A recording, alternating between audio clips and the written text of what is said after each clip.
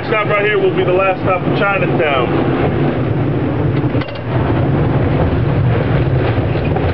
Again, this is your last stop of Chinatown, or Chinatown, walk to the right.